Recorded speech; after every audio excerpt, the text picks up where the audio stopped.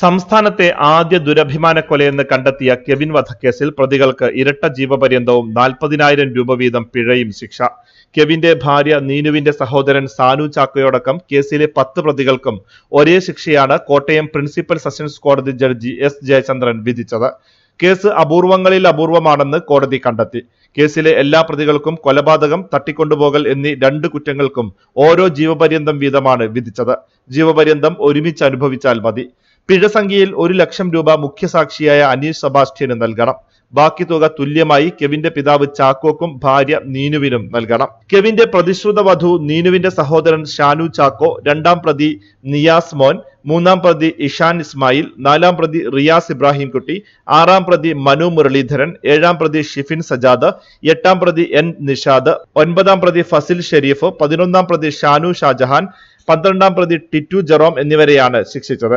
കേസിന്റെ ഗൗരവം കണക്കിലെടുത്ത് പ്രതികൾ വധശിക്ഷയ്ക്ക് അർഹരാണെങ്കിലും പ്രതികളുടെ പ്രായം പരിഗണിച്ചാണ് ശിക്ഷ ഇരട്ട ജീവപര്യന്തത്തിൽ ഒതുക്കിയതെന്ന് പ്രോസിക്യൂഷൻ പറഞ്ഞു.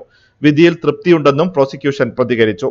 നീനുവിന്റെ സഹോദരനടക്കം പത്ത് പ്രതികൾ കുറ്റക്കാരാണെന്ന് കോടതി കഴിഞ്ഞ ദിവസം കണ്ടെത്തുകയായിരുന്നു. നീനുവിന്റെ പിതാവ് ചാക്കോ ജോൺ അടക്കം നാല് പേരെ തെളിവുകളുടെ അഭാവത്തിൽ കോടതി വെറുതെ വിടുകയും ചെയ്തു.